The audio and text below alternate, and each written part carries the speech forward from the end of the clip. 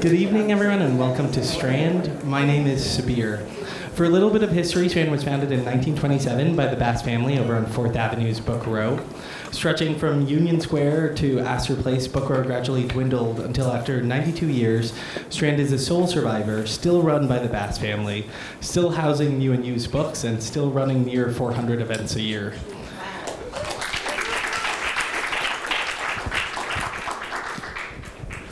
Tonight, we're excited to welcome Ben Katchor to the Rare Book Room.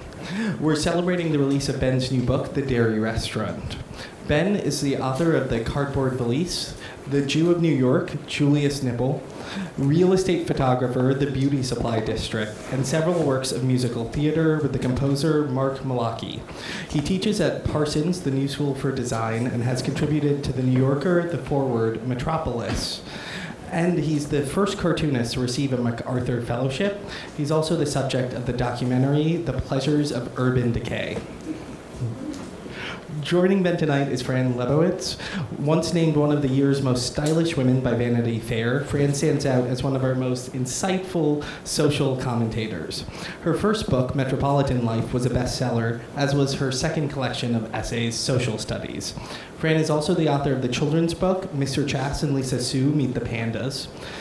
The subject, oh, sorry, the subject of the documentary directed by Martin Scorsese, Public Speaking. Fran has long been a regular on various talk shows, including those hosted by Jimmy Fallon, Conan O'Brien, and Bill Maher. Fran lives in New York City as she does not believe that she would be allowed to live anywhere else. So, without further ado, please join me in welcoming Ben and Fran to the Strand.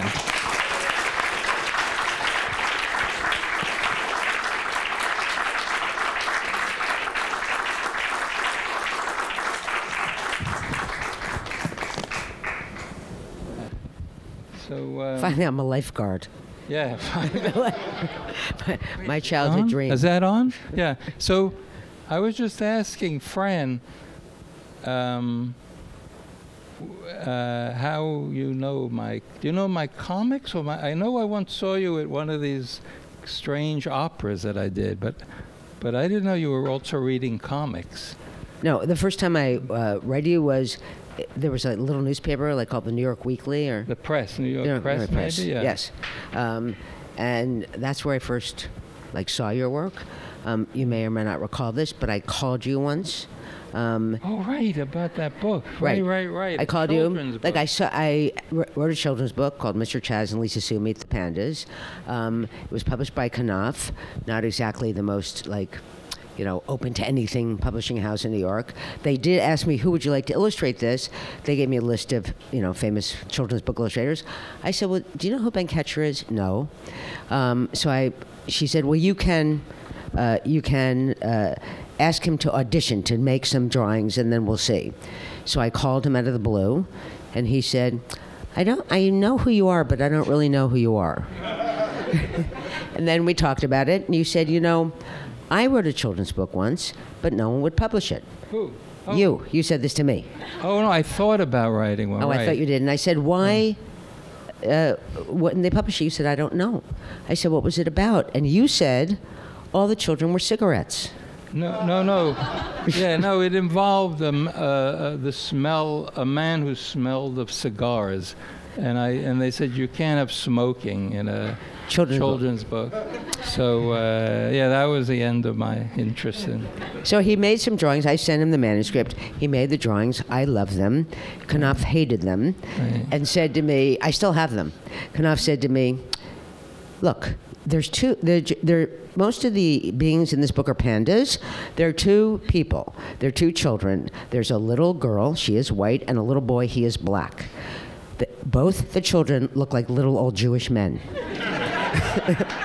I said, I have news for you. All people, no matter what their race, gender, or ethnicity, in old age look like little old Jewish men. Some children. And so, so do some children. yes, It's very interesting. it's true. the kind of child that looks like an elderly. Oh, yeah. Is this not on? Yeah, there's. There's a. Is that on? Yeah. There's a kind of child that sort of I, I often see little girls and they look like my grandmother. I don't know. They're not that. They don't have that disease where they age, but they just have the demeanor. They're like uh, these small little. But anyway, Because little girls at, at very sometimes early age understand what's in store for them, and they just collapse into being old women. they skip the horrible part. yeah. No, there's a kind of they're like they have the relaxation of an older person sometimes. So that's Something the demeanor of an older. But anyway, so um, so what happened? So. Uh, I think you probably want to talk about the dairy restaurant. Yeah, we could Yes. talk about that a little bit. so I don't know. I guess since it just came out, very few people have read this book or even looked at it. And it's not a book you have to read cover to cover. It's more like a phone book. You should consult it, look at the pictures, and say, "What is this about?" And then, because it's a very, uh, it's a worldwide history. It's a you know insanely pretentious thing to try to think I could write about everything in the world, but it is. It's everything. I read the You've book. read it, yeah. Yes, I read the book. so, Well worth reading. Yeah. And the like, it's uh, someone said to me, "What are you reading?" I said, "I'm reading this book by Ben Katchor called The Dairy Restaurant." So first, I had to tell this person what a dairy restaurant was, right. because you have to be at least as old as I am. Uh, most people who know what it is are dead. Um, you, uh, and you ha- then I had to kind of describe it, uh, what a dairy restaurant was, and the last like hundred pages are like a directory, a list of all the dairy restaurants in New York. And to me, the favorite part of reading this was you also uh, noted when the two brothers fought and split into two different restaurants. Like so, this to me is really the history of the Jews. The history of the Jews is the guy's in business with his brother. They have a fight, and then there's two restaurants, you know. And this is pretty much the history of the Jews. Um, Yeah. And then at a certain Well- point, they disappear, and they either become Gentiles right. um, or crazy Jews, which is what. I, whenever I say crazy Jews, Gentiles always say, "What do you mean?" They're so careful not to call the crazy Jews the crazy Jews. Um, I always say, you know, the crazy Jews, meaning the very religious Jews.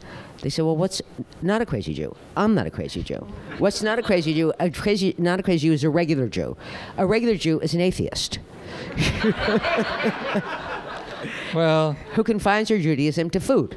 yeah, I mean, in researching the, this book, and anybody who looks at the history of people who considered themselves Jews in any way, you realize they were all over the world in every culture and were pa- partook of every culture and were very different. I mean, especially once they left behind a common denominator of a language or a religion. Uh, so, um, the di- prob- one of the problems with this book, if somebody living today thinks they're in this kind of unified Jewish community, they're going to be say, "Well, why don't you talk about my community? You, you left my community out," and that's because it all fractures by the time they come to America. And uh, since I'm not, uh, the end of the book is sort of autobiographical. It's about my encounters with these places.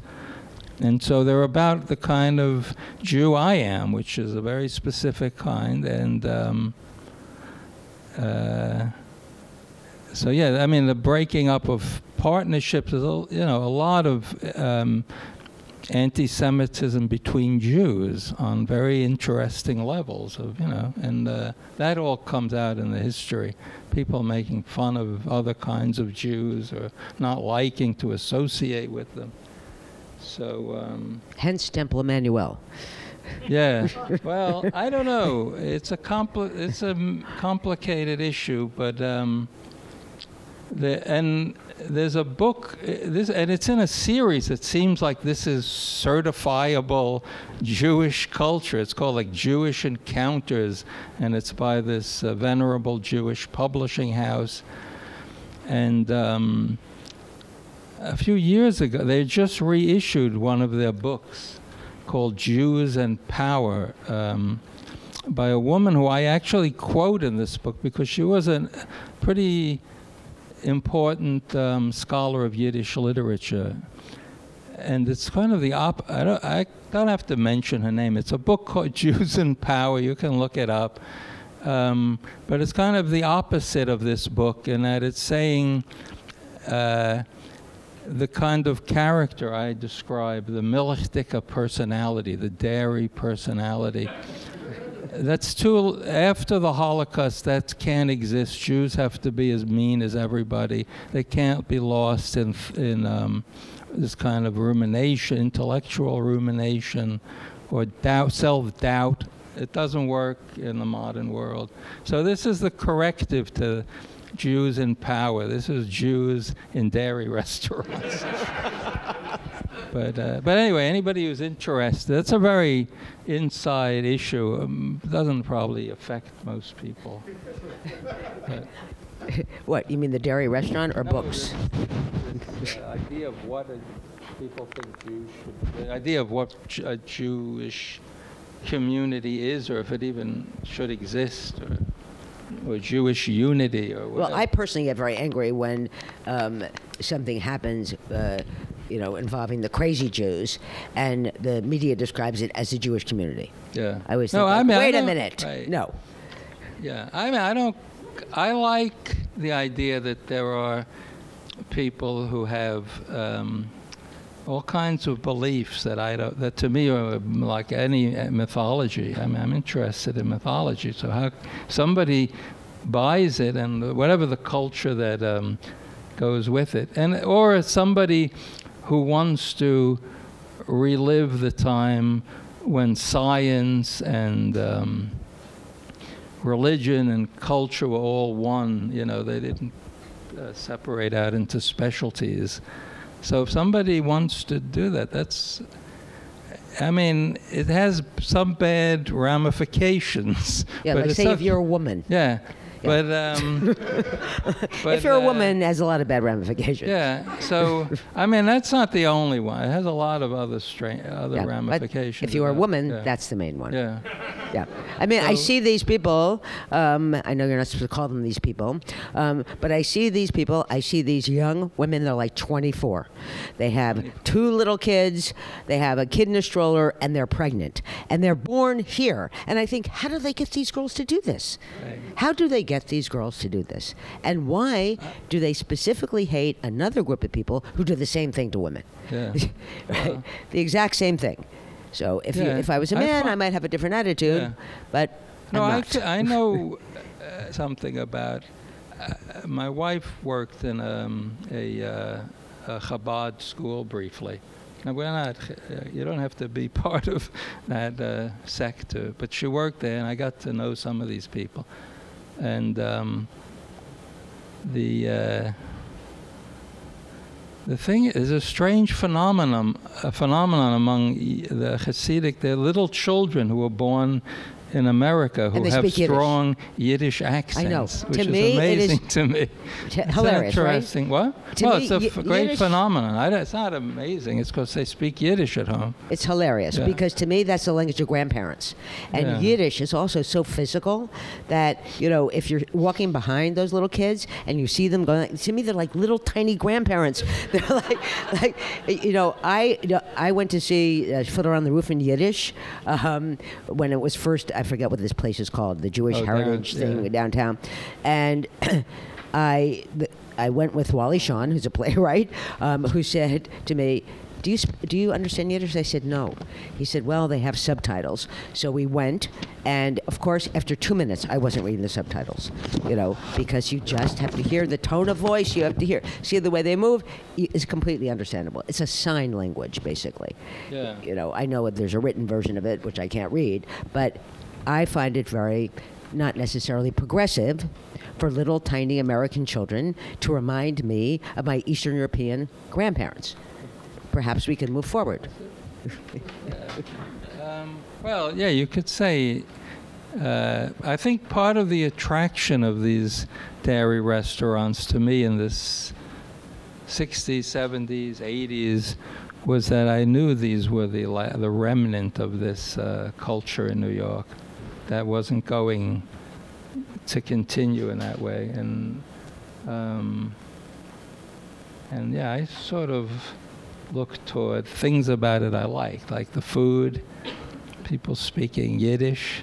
Um, the politics connected with a lot of it interested me too. So uh, I mean, yeah, I got the socialists yeah, the, yeah, the whole socialist history, um, uh, and also the Yiddish communists, you know, with a small c. That that was a whole culture that sort of uh, tried to exist um, parallel to this culture. Uh, but I, I found this funny. The Pew uh, Charitable Trust or the Pew Research Center does these surveys about what does it mean to be Jewish. I, I'm not sure why they do them. To just to keep to keep a sense of not a good reason. There's not a good reason for there's that. not a good reason.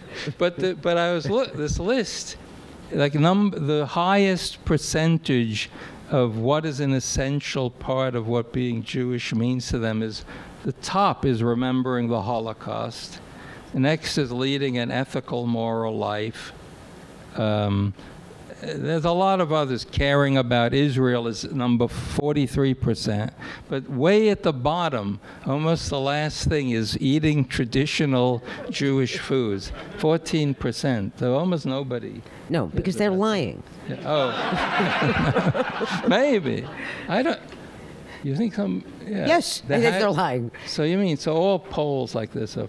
Fic- I guess I don't know. I mean, as you can see, I'm not a young woman. No one's Yeah. ever called me for a poll. I think once got now called. I once got one of those. What is that famous? Um, they called me once. It was really shocking. The. Gallup. So, yeah, the Ga- Did you talk to them? Yeah, I answered, and but I never once in my life. So it happens. But then I told them the truth. I mean, I, they asking me mainly questions about uh, political questions, who I would be interested. Yeah.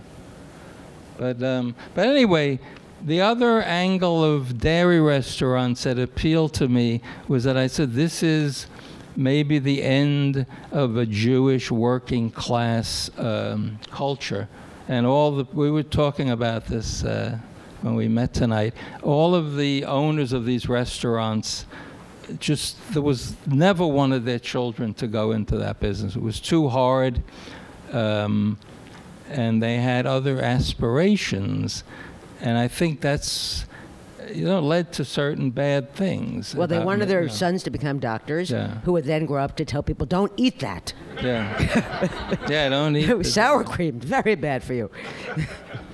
Yeah, that's well. I, I talked to a few people, children of waiters, the head waiters, and it was kind of a pretty good job. I mean, they could send them to college. Well, college was cheaper. It was free then. also, Well, it was yes. cheaper. They went. They didn't go to city college, but but they uh, they said come and work in the restaurant in the summer, and you'll see how horrible it is. And this is something you don't want to do. And um, you know, that's in other parts of the world and among other cultures. I think running a restaurant is a perfectly good thing to do, but uh, not if you have to dr- literally run it and make the food and clean up. You know, but that's what these people did. They were not uh, running. They were not. They didn't have. This wasn't um, Danny Myers. Yeah, no, No. no, not Danny Miner. So um, I mean, did you used to go to Ratner's, the one on Second Avenue? no, more on Delancey. I didn't know. That. I'm sorry. Yeah, there were two. There were three. No, there were two Ratners. And Yeah, so was was south of Ratner's. There was a place called Thau Brothers, which nobody remembers. Then Rappaport's, then the Ratner's. There was a Ratner's on Second Avenue next to the Fillmore, Anyway, which I'm sure that when the Fillmore was in operation, Yeah, it was the very- waiters were really surprised that at three in the morning it was full of like rock fans and musicians, and but the waiters treated everyone the same. They threw the plates at you. They threw them at you, like hoping not Yeah. hoping to get you. well, yeah, it's um, the end of uh, at toward the end of the existence of these places. A lot of the waiters, their, their hearts were not in No, that's the true. waiting. That and uh, you know, if they were even, most of them were not Jewish. Most of the kitchen staff was black, Puerto Rican, and um, so uh, I guess the question is, what did um, Jews lose by not wanting to do this kind of work or menial work? I mean, uh, I think uh, writers and people, cartoonists, I still think of myself as doing a kind of physical work. I mean, it's not a. Really, I don't think a coal miner would agree with you. Yeah. no, but I mean, I don't think of my. I didn't want to. Um, I think it's in the whatever they call the artisanal class, be, below, a little bit above the working class, but you don't have anybody working for you. I've never had anybody work for me, so No, of course not. so um, so yeah, that's that's one thing that happened with the demise of these restaurants. The next generation um, went on to uh, do other things, uh, and um, so it's hard to say what. Ha- yeah, when they they became the Jews in power, and then other all sorts of. Um, you know, businesses. They went into all sorts of businesses, finan- the financial industry. I mean, I think it's some of the, yeah, people we see today who um, wanted to do, make do better, and uh, and I see that I I spend the, the summers in Europe and mainly in northern France, and there's still family restaurants, and these are young people running them, and the wife. You Yeah, know, but that French food, different. yeah. Well, they have now. They kind of opened up to other kinds of. But probably cuisine. Nobilenses, probably. Noble, no, Nobilenses, no. no. No, they're not Jewish restaurants. But the idea that they could still, uh, w- somebody's in the, the husband's in the kitchen, the wife is the waitress, and it wor- and it's and they try to make the best food they can afford to make, and uh, don't necessarily um, aspire to um, have other people working for them. They can't. The, the government. It's very hard to hire people there, and you know, to have employees. It's a very complicated thing, and very expensive. So you tend not to. Maybe a, a, even a child who works at a certain level has to be, uh, you know, on Social Security and everything. That's yes, because that's Yeah. because they pay people there. yeah, they pay people. Here we just don't pay anyone, and so. Yeah. So yeah, so um, and still today I like. I mean, there's no shortage of you know working class restaurants in New York. Dominican restaurants down in Chinatown, and um, I like the aesthetic. Part of the aesthetics of a working class restaurant is is they're, they're more about utility. Everything is based on utility. Um, and some of the people I interviewed had no background in industrial design, but designed their own restaurants. And they're very simple. And it was a big issue. A lot of immigrant groups tried to have what they called ethnic decor. You know, Italian restaurants would have uh, plastic grapevines. A Romanian restaurants would be decorated like a Romanian wine cellar.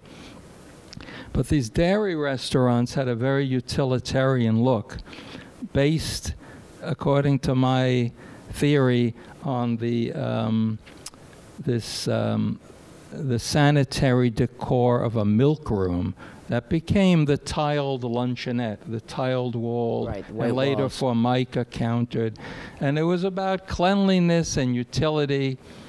And I always I like that too about a restaurant that it's um, not trying to make you think you're somewhere else. You're just where you are in this place. And I, I mean, I did you eat in many of those other than the Ratners? Up I've seen Ratner's at B&H Dairy, which is still there. Yeah, that's still there. Um, That that's still a very utilitarian place. and there were lots of them in, what Yeah, used to be the were a lot garment district. Right. Yeah. You know, now it's not the garment district. Yeah. It's also not the dairy. Hershey's was one on, uh, and uh, Geffen's, opposite FIT. Right. But now Geffen's done much better. He doesn't work in the restaurant anymore. Oh, oh, that. yeah. So, um, so that's part of my interest in dairy restaurants. A kind of a lost thread of uh, a moment in Ju- kind of Jewish culture, Eastern European facing. Um, uh, some maybe, uh, in some cases, uh, the politics of these places. By the time I went to them, was not overt. Uh, they would advertise, you know, in the in the Freiheit or in the Forward. There was a kind of um, they were just interested in a diminishing clientele, getting anybody to come. Uh, but that um, that moment interested me a lot. I, I don't think I knew exactly what it was when I went to these places. They were just. I knew this was a, a world on the way out, and I sort of liked that. So. Um, uh, you know, if they were lucky, like the Ratners on Second Avenue, they were next to the Fillmore East, and they bisected the uh, counterculture of the '60s, which, in you know, in its pastoral impulses, you know, uh, of the hippie culture, it has a lot to do with um, this history that I describe. Why people wanted to eat dairy food and vegetarian food, the whole pastoral impulse, why people want to have country houses, all that stuff. So um, that's in the book.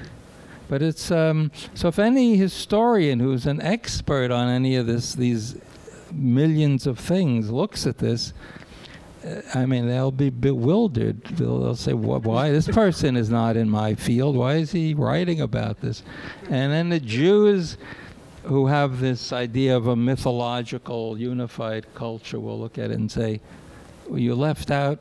You left us out." It sort of ends with the end of your Eastern European, you know, leftist culture and these. What, what's going on here? Why don't you want to talk? And so um, I don't know exactly who the audience is. There's a world now of these young. Uh, there's a thing called. There's a whole Yiddish uh, cultural movement now among young people. Yiddish New York is an event that happens in December on Christmas, so you don't have to go to your uh, to Christmas parties. You go to Yiddish New York, and people are s- working in Yiddish again, and they're they're interested in some of the uh, politics associated with that. So it's things are coming around. That might be the audience for this book. I did a few talks there, and they were kind of interested. So, But this is your audience. That's why they came here. oh, that's true. well, I don't know. They didn't this read is, the book this yet. is an actual audience. they bought. Wait a minute. They bought the book. They bought it based, I think, on my comic strips. Doesn't matter, Ben. Oh, okay. why they bought oh, it. Oh, wait, that's a third. That's a third that they bought it. category. A third category is people who are going to read this book, uh, lo- imagining that it's an object in my world of comic, my imaginary world of Julius Knipl. That's a whole other category. That's also a good possibility. So there are a few. You, but they're related, Ben, because you did them. Right. They are related. yes. Yeah. That's I, the author theory of being an author. Yeah, that's true. I, i- in my comic strips, I've invented lots of books, like the the directory of the alimentary canal. I don't know if you Yes, remember I that. remember. remember. There was a telephone book that came out, I forget, every two weeks that listed the gastrointestinal, not a phone number, but the gastrointestinal condition of everyone in the city. And you would just use it to know whether you should bother that person this week. so, uh, but I've made up a lot of books like that. Yeah, I'm surprised it didn't catch on. Really. That book, no. but so this book, it actually fits into that mold of this impossible book. Like, there's some imaginary audience. Offhand, I can't think of others. Um, but I did. I made up lots of strange books like that. But there's a real audience. Yeah. Right? Oh. Okay. Well, I- we're not, I'm not used to working a, a live audience. That's a different thing. But that's the other another issue about Jewish restaurant culture is that it was the place where talking happened, and you know some vast amount of um, Yiddish culture was spoken. It, people didn't write everything down, and so that's how I knew of you more as a, as a talker. This kind of rare But not in thing. Yiddish. No, not in Yiddish, in English, but a rare thing, like a person who doesn't have to think so much about like being in a newspaper every week and gets up and talks to an audience. And that's kind of, um, Easier. I don't know, not for me. It wouldn't be easy for, For me, it's No, you were great at doing that. So uh, that's the other, another angle of restaurant culture. People were talking a lot while they were between eating, I guess. But I remember p- hearing a lot. If you used to go to the Diamond Dairy on um, 47th Street, it was like the last place uh, you could easily, not in a, a non Hasidic um, neighborhood where people were speaking Yiddish. Um, so, uh, you know, that's um, that's it. That defines my in this. So you could say, well, someone could look at this and say, this is an imaginary world you're talking about. This is not my world of Jews or Judaism, um, but it's uh, it's a made up. It's an imagination, uh, and I think there are some. There's a famous. Um, uh, Yiddish historian Simon Dubnow, who said that's uh, my Judaism is history, studying the history of Jews. I'm not in, interested in following the religion or the food. He was a fairly, somewhat assimilated Jew, I think, and he said that's my, um, the extent of my Judaism, and he, you know, that was a major body of work he wrote. He collected history. So I would say this falls into that category. Uh, a historical Jew, or the Jew who wants to uh, talk about history, and maybe it's ended. I, I don't see how it could. I don't know that this is going to spur a, a revival of dairy restaurants. or the, not Eastern European. You know, there's still a million uh, dairy restaurant. Every kosher pizzeria is a dairy re- is uh, restaurant, but it's not an Eastern European dairy restaurant. And can it spur? I don't know. Maybe some of these young Yiddishists will start opening these places. I don't know. I don't know if there are enough. I think you need an you need a when the neighborhood changed, uh, the garment district, uh, the demographic changed, or the Lower East Side, these places went out of business. You need a certain number of people Right. To run a restaurant. customers who are alive. yeah, eating Yes. customers. Right. Uh, we're going to take questions from the audience if you would like to ask them, and if not, we won't. yes. Just curious about the research, just where you found these trails and how you followed them. like any researcher. And then, you know, li- before the internet, libraries, and I taught, tried to interview people, and I would look up people, and there were a few interviews with uh, people in the business. But the um, there was um, a moment early on, on the, in the internet when Google was digitizing every book and made them all word searchable. They've since all been taken off for copyright reasons. But Yeah. the, the information that I needed is in no index. Nobody would index it. There'd be a mention, and we ate in the dairy, and that was really useful because all of this information was in books that have nothing to do with Jews or dairy restaurants. So how would I ever? So it almost needed the internet to find a lot of this stuff. And the uh, what is that? All the genealogical data that's now been digitized. That's really useful. Hi, um, I just want to say that I've been following you since the New York Press. I first saw your cartoons there. Yes. And I said, this guy knows the world that I know somewhere in my imagination. Some old New York, but not New York. Some place where there's only eccentric building, uh, businesses Right. around. And, uh, it's, a- this- I think that this dairy restaurant concept and the concept of Jews that you and, and Fran are discussing are those kind of Jews that lived in this, this New York world that I vaguely remember uh, at my age, but that I'm very nostalgic for. And, and your work, for me, is, is nostalgic. That, that's what- Well, yeah, the, the, those strips, Julius Knipl did not take place in New York. I, it was an invented city like New York, but it never got into the real history of New York. This purports to be really about um, real places and real businesses. Not the myth, the beginning is myth, mythological. But um, yeah, it became New York uh, after Warsaw became the largest um, pop collection of Eastern European Jews. So uh, That's what I grew up in. Yeah, and my you know I my father was a Yiddish speaker from Warsaw. Yeah. Where does Yonah Schimmel fit in? There's a ch- section about it, and um, you know, I don't want to get into a, a lawsuit or, but uh, there's a thing in Jewish and uh, probably all ethnic um, restaurant businesses where people want to make it look like there's some uh, real. Um, lineage between an older restaurant and their restaurant, and it's very confusing in the case of Yonah Schimmel, because uh, there were I found some ads.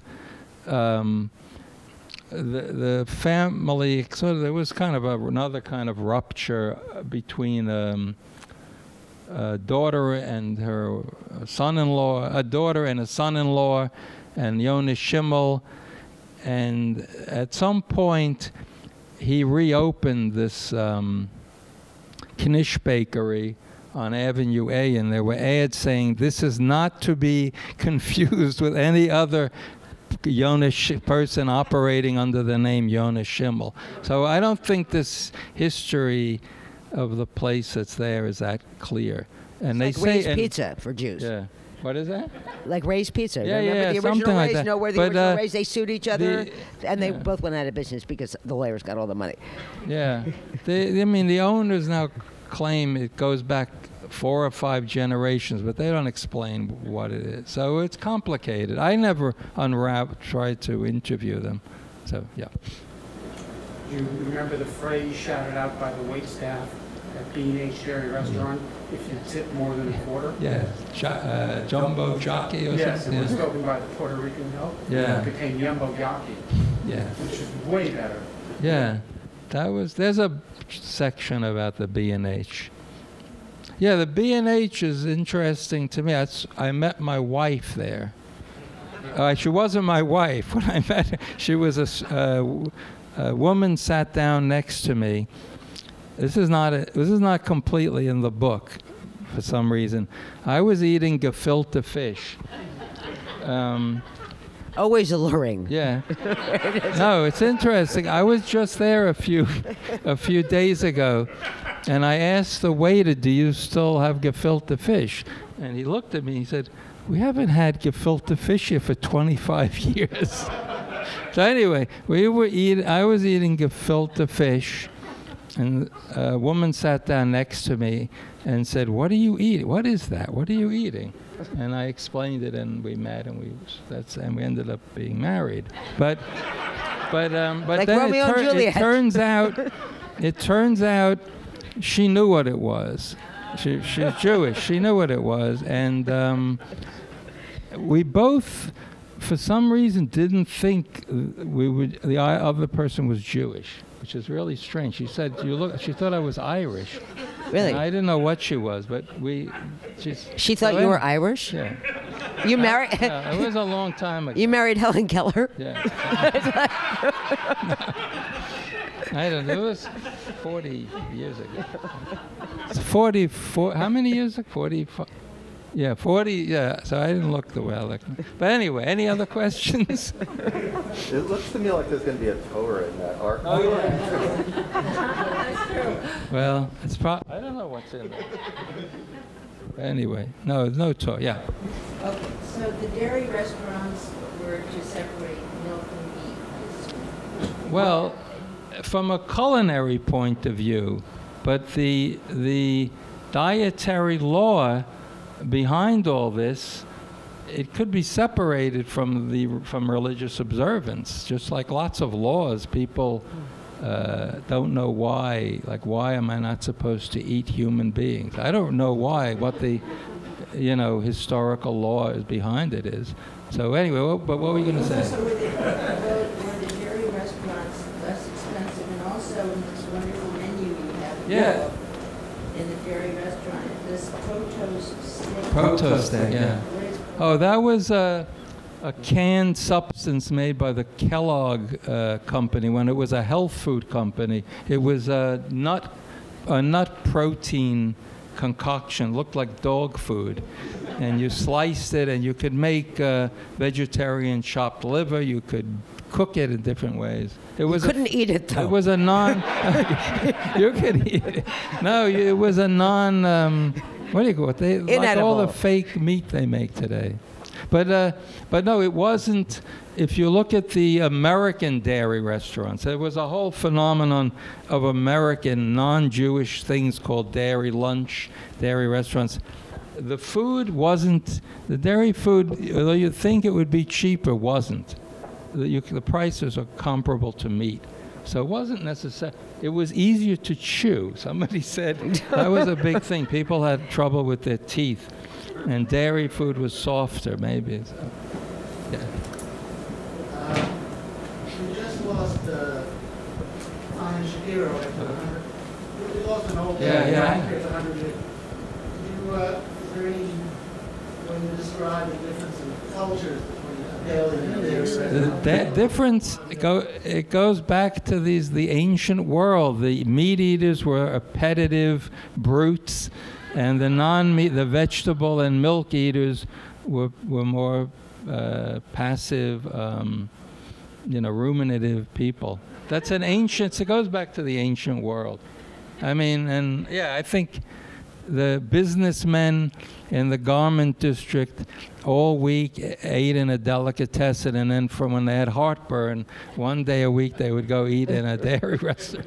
So it was, yeah, to escape the world, the appetitive world. I mean, I, yeah. I'm not summing up for Frank, I just saw you in the uh, trailer to uh, Country of Food Sellers, and we can see that. I, I, did, I haven't seen it. I know I'm in it. I know. I, I, I remember doing it. It was a couple years ago. It looks fantastic. Oh, thank you. Uh, Then, uh, you mentioned in passing you were working on this in 2005. When did you cross? Oh, way before. Uh, since the eight, I was thinking about this in the 80s. I was interviewing the last of living uh, restaurateurs from the 80s, but there was no pressure um, to finish this because I knew I, I didn't know the full the story I kind of outline in this book, and um, the only pressure was I started to worry that the public books would end or something, especially when e-books started. I thought if I don't get this out, my publisher is going to just say, "It's too late. You waited too long." But uh, yeah, I've been thinking about it, not as a book, as re- pure research for 30 years or something. Yeah, a long time. That's not that long. Yeah. No, a lot of book. I did get interested in learning about long-standing, unfulfilled book contracts. The whole history, and I think most of them, after like 20 or 30 years, they never happen. So this one did happen. So it's kind of the rare long. Um, and my editor. Uh, I guess the in- I inherited a few editors over those decades. They understood that I I was working on it. I mean, and it, it's not a topical. Would it have helped if it came out 20 years earlier? I don't think. I don't think. Yeah. Yes, I wanted to ask Fran if you still have your checker cab. I do. Yeah, all right, great. It's not a cab, though. Oh, it's a tray. No, it's a it's a checker marathon. It was a passenger car that the checker cab company made. Um, I still have it. I'm the I'm the only owner. I was the original owner. I bought it new in 1978. It's a, it's a 79. Um, it's in perfect condition. Um, it is. Uh, it has its own apartment. Um, it is the only monogamous relationship of my life. um, so I do still have it. And I wanted to ask Ben, is Mr. Nipple retired or is it? Knip- Yeah, it's Knipl. It's pronounced Knipl. No, he, it's finished. I, I uh, haven't done that for years. Is he retired? You mean in the story? No, he's still working. In the story, he's still. But are you What? gonna ever- No, I'm not making them anymore. I've done other strips since then, other weeklies and um, monthlies, and I was working on this book for a, uh, the last uh, few years. I haven't done a regular strip, but I should probably. It's just, but yeah, but not Knipl. Uh, yeah. Oh, I think you asked. Okay, go ahead. okay. You're every month in Metropolis? No, I was until uh, for 13 years, and then I think they just asked me to stop. Can you release a book of those? Yeah, there is. It's called. They must have it here. Hand drawing in America. It's called. There is a collection. 13 years. Yeah, back there. If you retire Julius Knipl, uh, do you have any ideas for other uh, characters? Oh. I've, I've got a suggestion for a name. Okay. Herman Eppes. Yeah, okay. It's a good. No, there were three or four other series of weekly strips after Knipl. Hotel, uh, the Cardboard Valise, Hotel and Farm. There was something called Shoehorn Technique. There were all these strips. So, yeah, there's no shortage of strips. Uh, but that's not bad. A Yiddish name, yeah. Herman Eppes. Yeah. Yes, your books are the only ones I've ever seen in which the end papers are different. And I wonder if that's Oh, idea? yeah. I, uh, no, I just don't. I always liked the idea that a book would start the minute you open it. I, I mean, end papers just seem like a some weird wrapper that was unnecessary. I never liked the kind of what do you mean repetitive?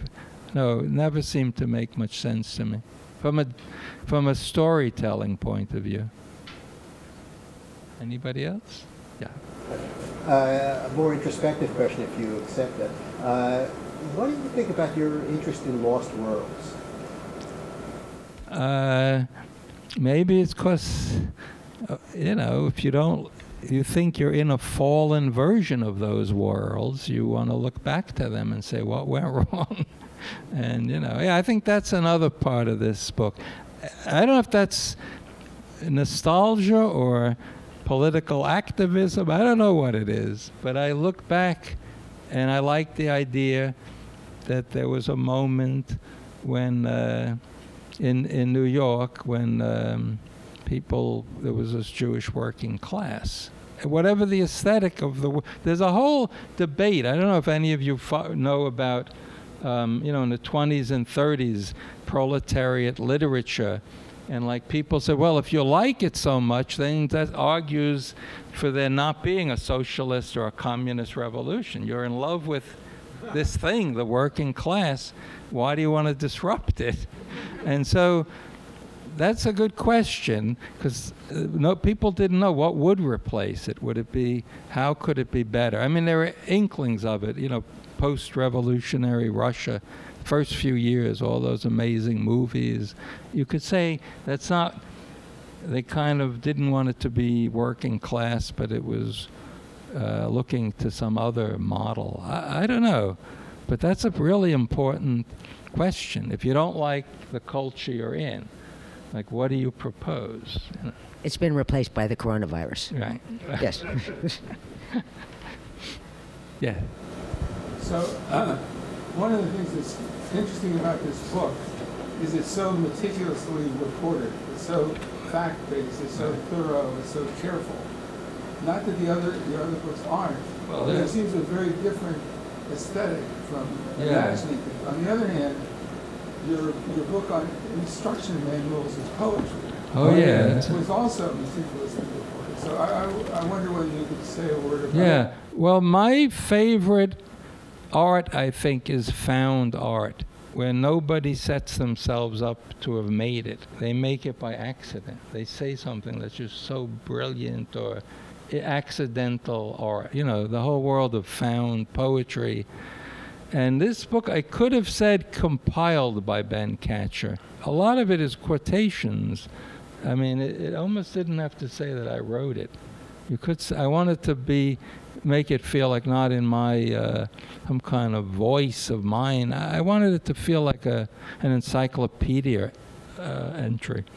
So. It's an authentic alimentary canal encyclopedia. Yeah, it. I I mean, I think it. Sh- it's what I, I was. I told somebody. It's one of my favorite books. I have these old um, yellow pages from 1940s from Chicago, and they're amazing illustrated directories of a city with nobody trying to be an author, but people coming up with these crazy trade names and little descriptions, and it's pure poetry. No poet could come up with that quantity of poetry, I don't think.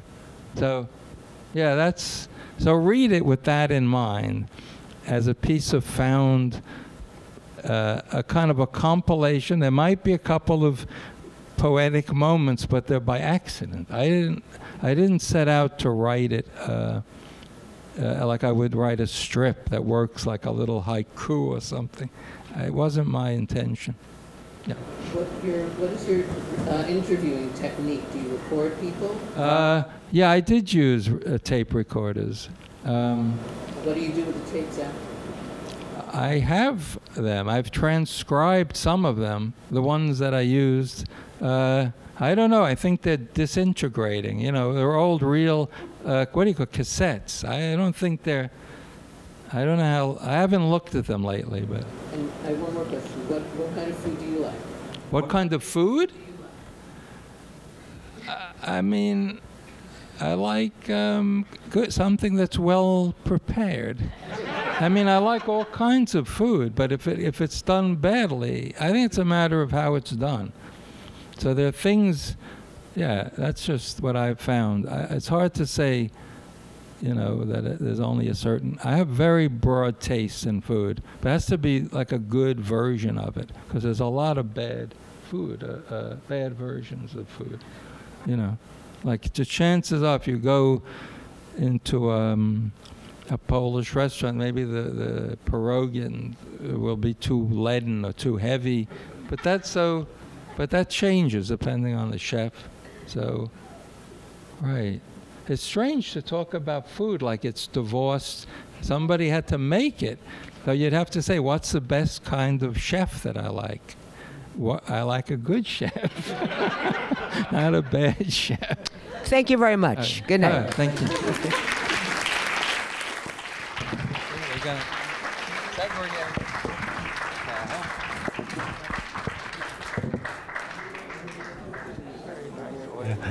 Thank you, everyone, for coming. Uh, have a great night.